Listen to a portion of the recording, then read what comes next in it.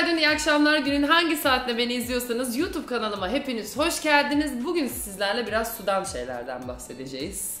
Yani saçma oldu ama neyse aslında çok önemli ve güzel bir şeyden bahsedeceğiz. Suyuma ne katıyorum adlı video olmasını rica ettim Başak'tan. Acaba ismini ne koydu şu anda çok merak ediyorum. Şöyle ki e, zaten su içmenin önemini herhalde ki herkesin doktoru, diyetisyeni, beslenme uzmanı, çevresi, annesi, babası, babaannesi defalarca, milyonlarca kez herhalde bahsetmiştir. Bundan tabii ki karşınıza çıkıp bol su için demeyeceğim.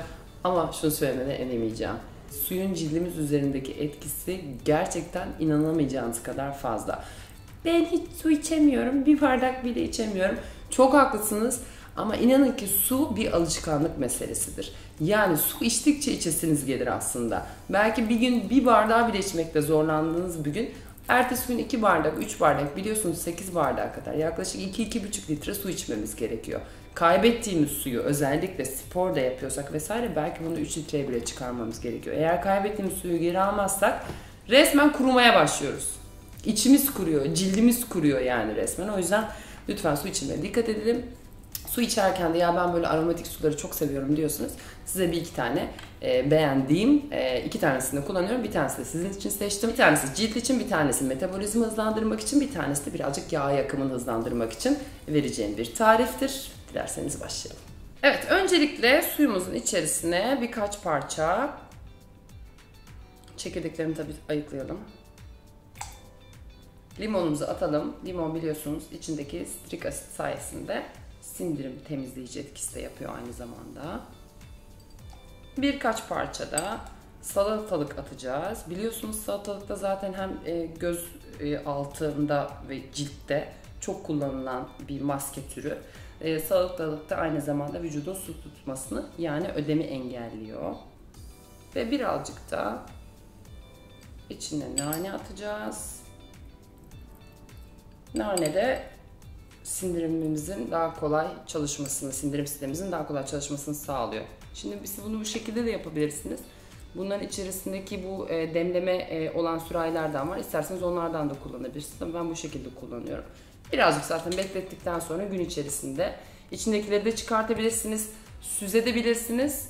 O tamamen sizin zevkinize kalmış ama boş içmektense böyle daha fresh bir şekilde içmek bence çok daha güzel oluyor. Ve şimdi bir de metabolizma hızlandırmak için bir tarifimiz var. Birkaç parça tarçın ve birkaç parça da içerisine elma atacağım. Suyunuzu bu şekilde içebilirsiniz. Şimdi metabolizmayı hızlandırmak için eğer ben böyle şeylerden hoşlanmıyorum diyorsanız akşam yatmadan önce içeceğiniz yarım litre su neredeyse metabolizmanızı %30 oranında daha hızlı çalışmasını sağlayacaktır. Biliyorsunuz metabolizma yavaşladığında kilo alıyoruz. Metabolizmamız ne kadar hızlı çalışırsa o kadar yersek kilo almıyoruz. İşte o ben. Metabolizma hızlı çalışması için de ona gerekli enerjiyi vermemiz gerekiyor. Benim e, sürekli uyguladığım şey zaten biliyorsunuz defalarca söyledim. Sık sık azar azar yiyoruz, midemizi büyütmüyoruz vesaire vesaire. Dolayısıyla e, normal suda içebilirsiniz ama içerisine katacağınız bir parça elma ve tarçınla metabolizma hızınızı arttırabilirsiniz. Ve bir de sizler için ilginizi çekeceğini düşündüğüm için bir tane su hazırlayacağım. Bunlardan bir tanesi en çok gerçekten işe yarayan şeylerden bir tanesi suya katıldığı zaman da efendim söyleyeyim greyfurt yağ yakımını oldukça hızlandıran bir meyve. İçine birazcık da salatalık katacağım ve sonra demlenmeye bırakacağım. Evet. E, bunu denemedim ama greyfurt'un e, antioksidan etkisini zaten bilmeyen yoktur herhalde. Ve aynı zamanda yağ yakımında da çok etkili bir meyve.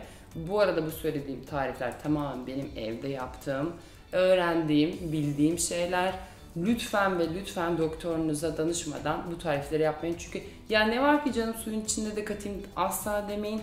Çünkü e, tansiyonu düşük olanlar veya tansiyonu yüksek olanlar için e, limonun yeri farklıdır. İşte ne bileyim naneye alerjim vardır bir şey falan. Mutlaka yine de ufak tefek çok böyle besleyici şeyler gibi görünse de doktorunuza danışmadan e, içmeyiniz diyorum. Benden bu kadar bugünlük efendim. Kendinize çok iyi bakın. Boş su içmeyin. Böyle sular için. Kendinize iyi bakın.